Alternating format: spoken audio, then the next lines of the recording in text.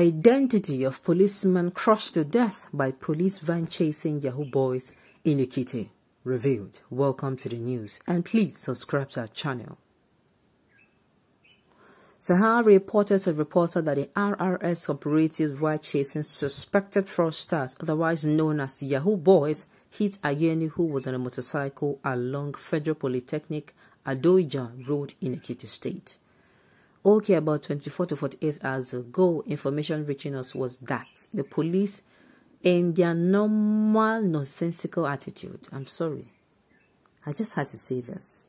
A lot of things have been happening recently we all hear, we all heard about the arrest of um, Uche Nwosu, who was the former, who was the, who is the in-law of the former governor of Imo State.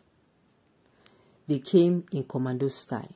They went to a church filled with people, children, youths, aged, nursing mother, pregnant women. They were shooting sporadically. People with high blood pressure are there. People with all kind of sickness that drag themselves to church because it was during this festive period. They were also there. They went there. They went with commando style, as if they want to kidnap. Uh, what's the name of this man? Is it Osama bin Laden? Is it Usman bin Fodio? Which of a person? Or the man that even started this jihad, Muslim jihad war? Sincerely, so, the police now again, while we are still thinking about that one, everybody is still calling for justice because I'm like, why? What if in the in the you shooting sporadically into the air, the bullets touch somebody? Will you have said sorry and left? If in that moment the youth of the community came out and something else began to happen and people started dying, they are going to say, eh, it is the unknown gunmen. That is what the that is what the media will say. They will cover it up. They will.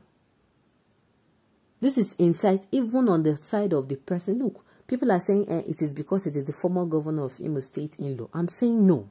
Even if it is one, an ordinary Nigerian like me and you, we are still going to be having, we are, we are changing a lot of things.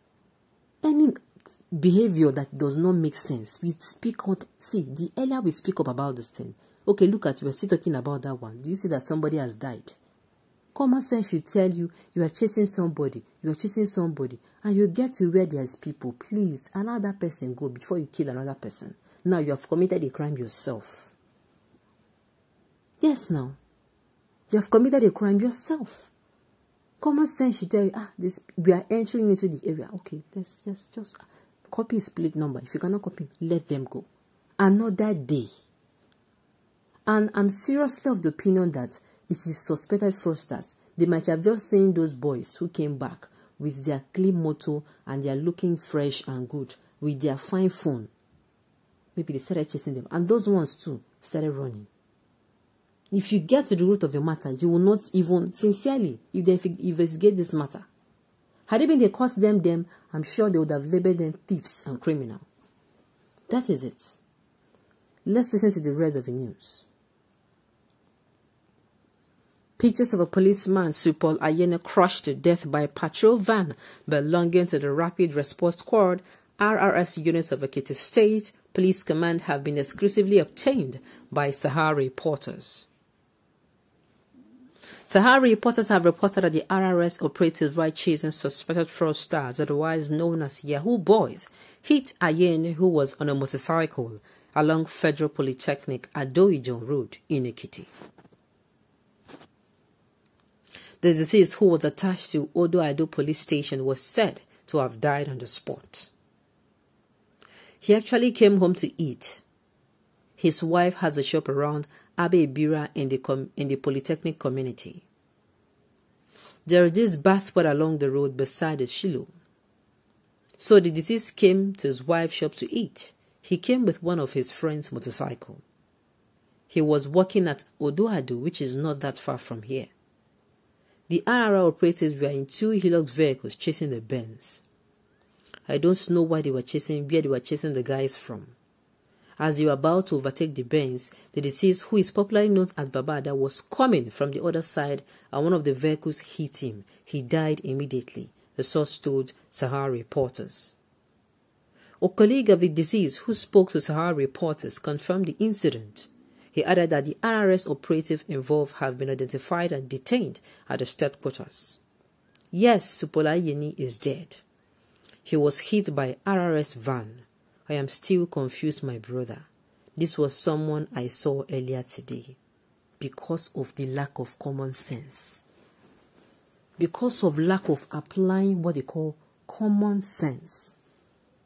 Why we are still talking about that one, oh, I'm still telling you, the police have lost the respect I had for. Look, the military operative it is something else in this country. They are gradually turning into the criminals themselves.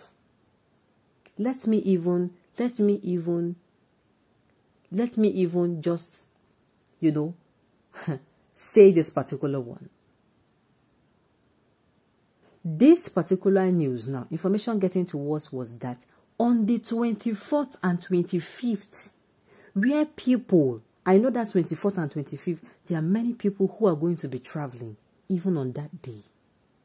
24th, they will want, see, let me go and spend my, my, my, my, my holiday, no matter if it's two, three, four, five days. Let me spend it with them. Let me spend it with my people. Do you know what happened in Enugu, in, in Nkanu East local government area? Do you know that the army, oh my goodness, the army went into people's houses by midnight when people are preparing to go to church. oh God. Oh.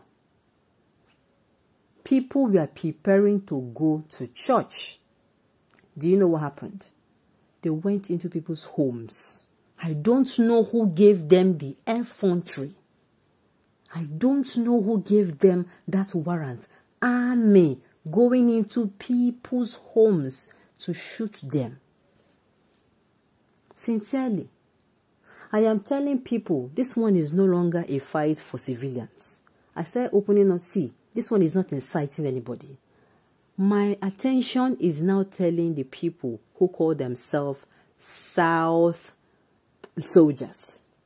While you are busy because I know definitely the army, when they are dispersing people now, when somebody applies to be an army officer and the person is from the east, you don't get to go to the east. You're either posted to where? The south or north. It is like that. And the north, maybe the east. The west, they just scatter them like that. You don't go to where you can speak their language. Let me now say this. Why those who are in the south, who are in the north, are saving the colleagues of those who are in the north. They are saving their northern, their northern family friends, family members, relatives, mothers, sisters, nieces, nephews. The, the, the so-called military officers in the in the in the east and the south, they are actually killing. I want to see. It is not a matter of uh, inciting. This is what is happening. So now this man, we are still talking about this one and the one that the police did this one has happened. It is high, we need overhauling. Our military, they need overhauling. They need to put people who are thinking with their brain there so that we'll stop losing lives. On this note, we have come to the end of the news. We say thank you for turning into a lesson. And until I come your way next time, enjoy the rest of the day.